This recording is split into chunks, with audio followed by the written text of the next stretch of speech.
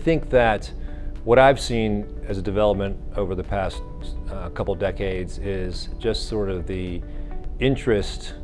uh, of advancing not only orthopedics but soft tissue surgery as well, uh, and that we have not only the ability to do so, but we also have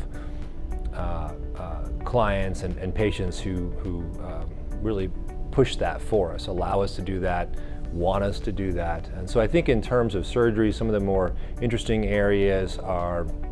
in areas of regenerative medicine,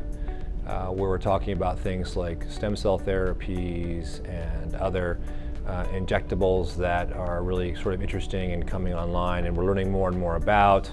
Uh, I think we, we, continue to learn a lot more about the biomechanics of certain injuries and conditions and as that continues to develop we're going to learn more and more about how to treat those. Um, so there's really lots of just every year at, at, every